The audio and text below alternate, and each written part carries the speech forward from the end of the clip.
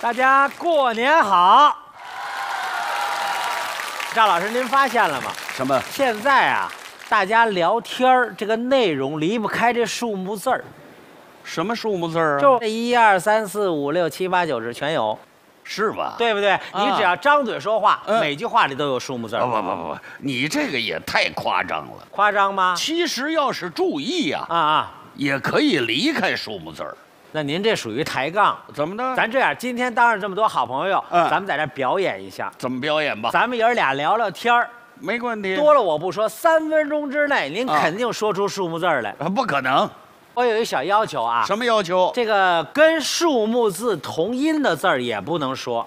举个例子，比方说，您说我出去溜一溜，六六六六六，这不能说。哦，沾这个六，哎，说您肚子不舒服，您啊捂一捂，五这也不能说。这也不行。说您喝酒，啊这酒也不能。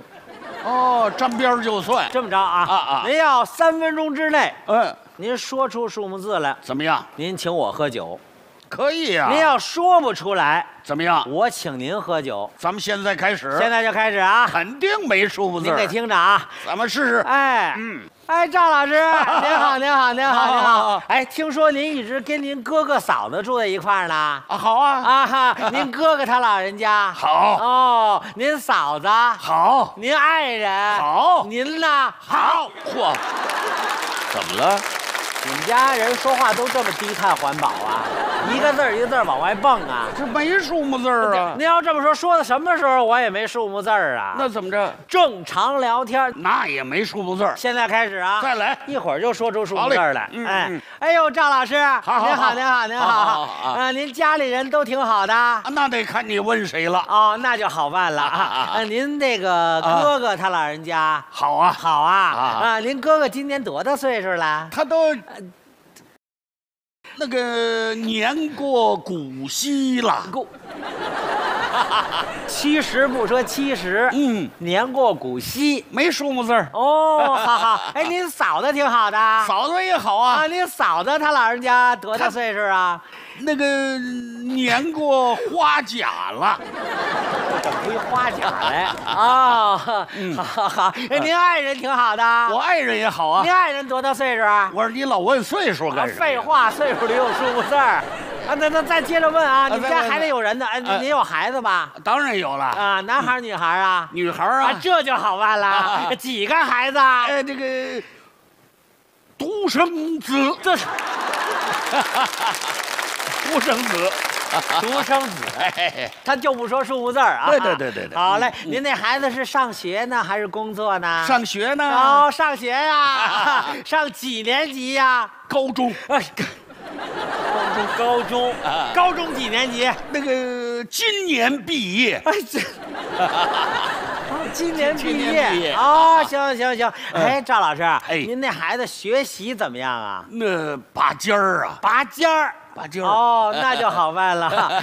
考试得多少分儿啊？哎，这呃刚及格，啊，没听说过，刚及格叫拔尖儿啊？这没数目字儿啊不。是这老头儿，我跟你说，阿香，你他嗯，他们家好像没别人了。不行了吧哎，？你们别着急，还有的问，你们家住北京哪儿啊？呃，王府井，啊，王府井儿啊几号？哎，那个拐弯儿就到啊，，拐弯儿就到。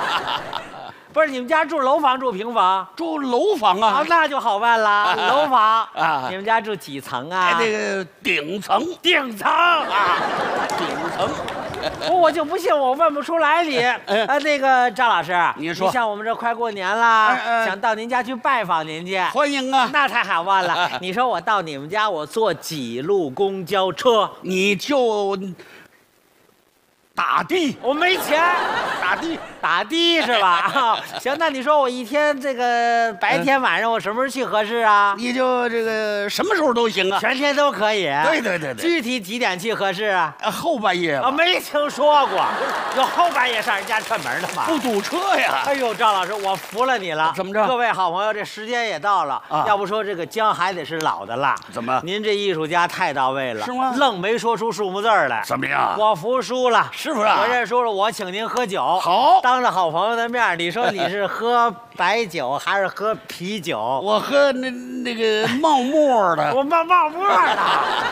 他不说啤酒，嗨，我跟你说，赵老师，我们家没有啤酒啊你就当着大伙儿说，你是说你喝五粮液呀，还是喝二锅头？这我都不喝。那你喝什么？茅台，啊，茅台。哎，茅台没数茅台太贵，再者说茅台那度数太高了，不高那度数太高了，不高多少度啊？五十三度，说出来了。